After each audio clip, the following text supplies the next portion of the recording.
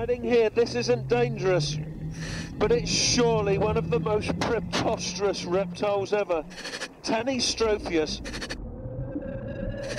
Great long neck, great long tail, there's hardly any body at all.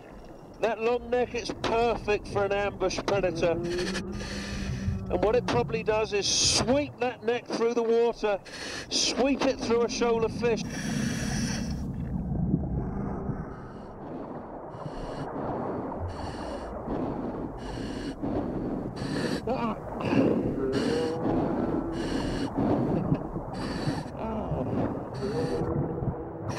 Ah.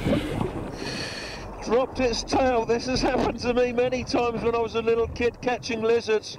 They do this as well. And this is an insurance policy. If they're attacked by a predator, the predator's distracted by the tail and the creature can escape. And like lizards, he'll grow the tail again. And it shouldn't do him much harm. Look, he's swimming away perfectly there. Golly, this tail is spasming so much. I can hardly hold on to it. Wow, where did that come from?